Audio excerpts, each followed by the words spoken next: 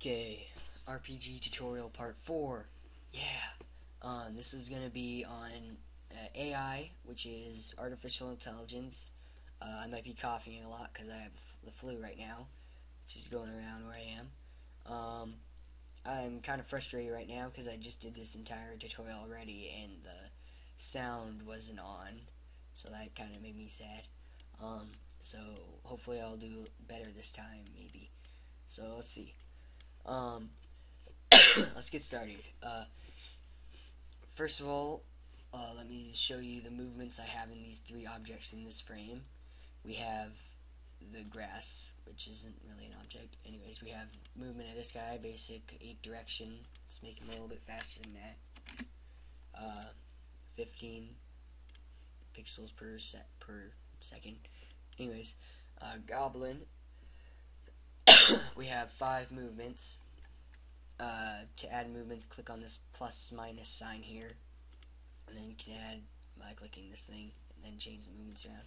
Um, we have four movements, which is each a path movement, going in different directions. This one's going that way, um, the other one's going another way, other way, and four different directions. Um, and the fifth movement is just a bouncing ball with speed of 15. And this guy's exactly the same, except for the he doesn't have the bouncing ball movement. Um, so let's do uh, NPC AI first because that's simpler. Um, uh, to do this, it's pretty easy. Just um, you want to do first every second set change the global value set global value A and then you want to retrieve data from an object down here. Um, do special and do generate a random number.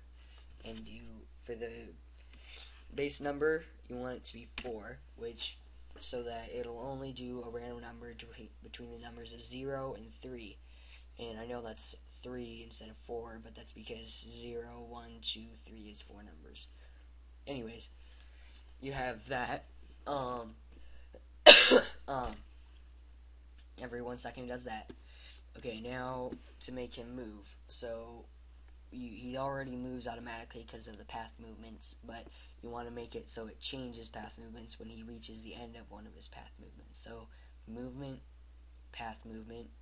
Has emperor reached a node in the path?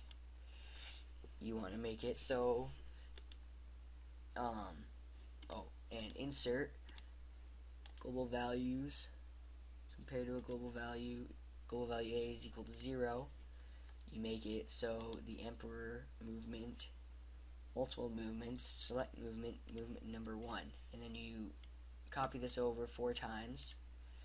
And you make this one uh, global value a is equal to 1 global value a is equal to 2 and global value a is equal to 3 okay. And now you want to change this. Movement number 2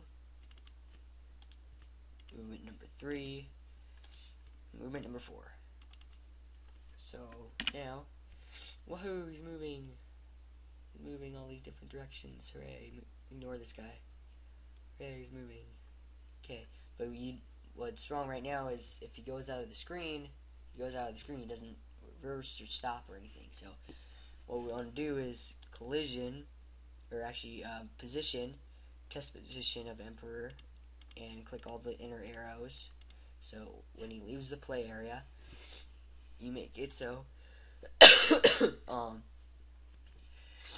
uh movement reverse. So now he'll reverse when he hits the side of the screen I'm not gonna wait for him to say this guy is screen that's just what's gonna happen. Okay. And now we want to make a new group of events because now we're starting with the enemy which is a little bit more complicated. So insert a group of events. Title of group um, let's make it enemy move. Okay. Okay. So now copy these into there and but we don't want it to be the emperor. Now we want it to be the same thing, only with this guy instead. So movement, uh, compare uh, path movement is reached known its path, and copy that over,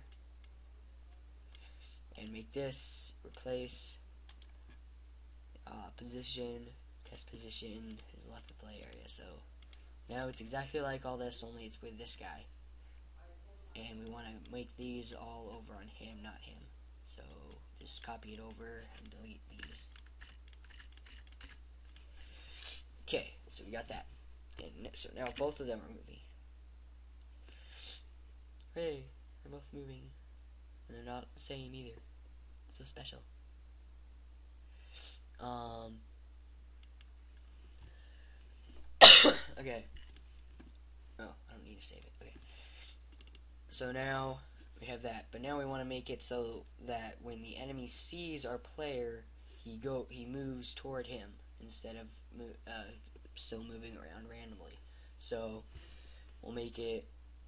Uh, now we need this new object, which is it doesn't matter what it looks like because it won't be seen.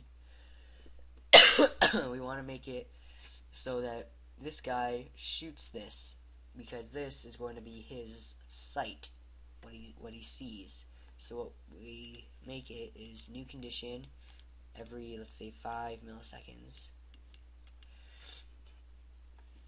And insert and and uh, direction compare direction and if he's mo- if he's facing any of these directions I would just make it this direction, but making it have this many directions just help debug it so it doesn't, you know, bug up.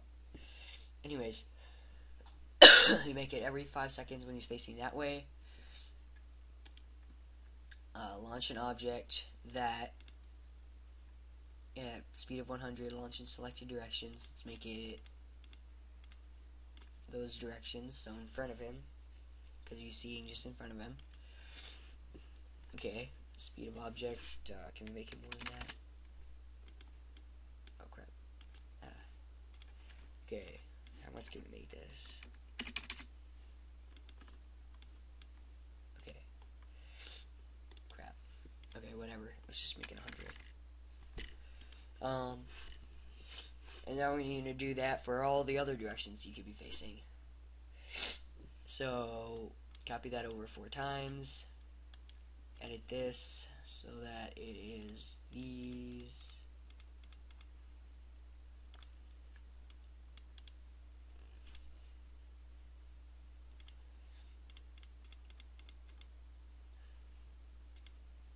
Okay.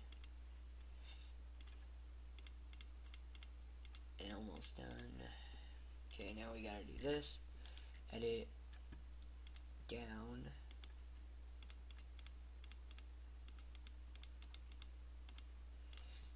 Okay, edit to the side, right, edit to the side.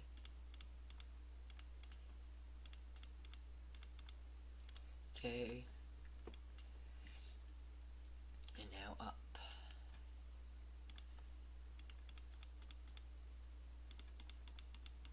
Okay, so now he's launching these objects. Right now you can see them, but it doesn't matter because uh, right now it's just testing. We, we can make them invisible later. Um, um, so now we need to make it so that uh, when he sees the guy, it changes his movement. So new condition, collision, other object with our player. It we need to make it so we deactivate enemy move. So under this special thing, do group of events, deactivate enemy move. And new condition. I mean, no, not new condition. Uh, sorry, my Philly's messing with my head. Um, we make it so uh, deactivate enemy move, and then we make it so the Green Goblin movement, multiple movements, and select movement number five, which is the bouncy ball movement. and I know a bouncy ball isn't right because we don't want him just going all around randomly. What we want him to do is edit we uh, new condition um, and make it always and also we need to make it when this collides with that we need to set his alterable value a of the green goblin set a to 1 to 1 and then insert um uh alterable values compared to one of the alterable values a is equal to 1 so now always when a is equal to 1 um, direction select direction or no not that uh, direction look in the direction of our player. Okay. So now let's test this. Oh no he saw me. Now he's going after me. Oh my god. Oh my god. I'm, I'm being chased by a weird guy. Ah, ah he's faster than me